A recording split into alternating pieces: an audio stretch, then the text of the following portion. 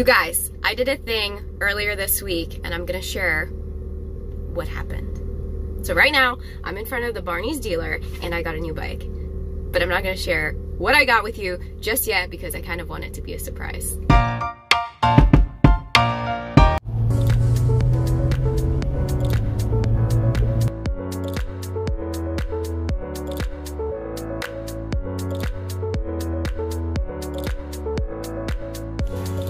That's a good look on you.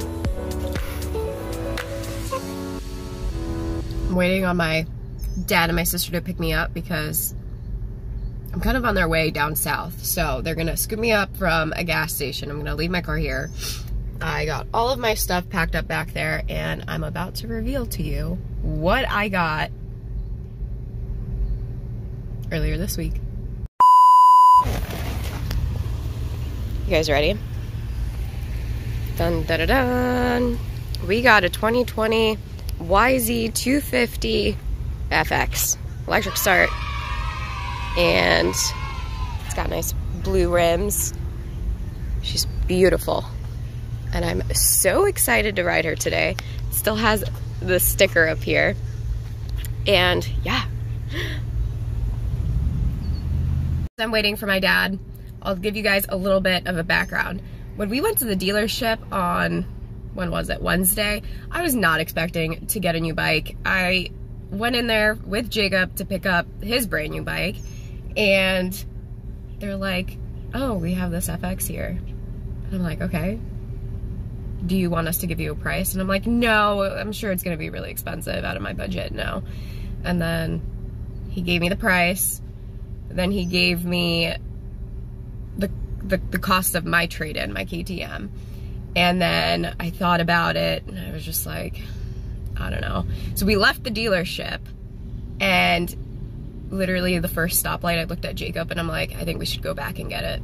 So we went back and got it and I'm the proud owner of a 250 FX and I'm really, really stoked about it. And you guys are probably like, well, what made you jump from the 150 to the 250? And the answer is, I rode a 250 before I got the 150. I took about eight months off and I thought the 150 would be a good way for me to get familiar again with racing and, you know, to, to slowly get back into it. And for the past couple of months, I, I've really been talking about wanting to get another 250. So that's why I ended up getting.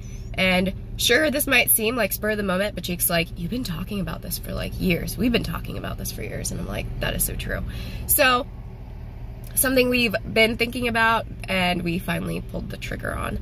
And after riding it on Wednesday, I definitely made the right decision and Jacob now wants one. So that says a lot when the guy who rode every single motorcycle last season says that this is the best motorcycle he's ever ridden, that says a lot.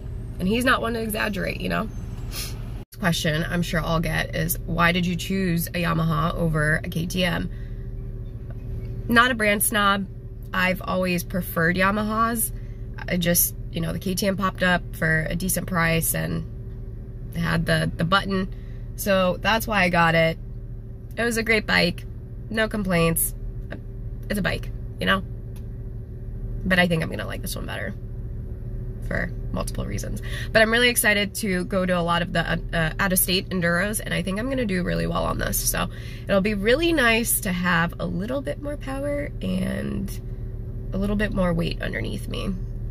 So very pumped, very pumped to see how this goes, how this new adventure goes.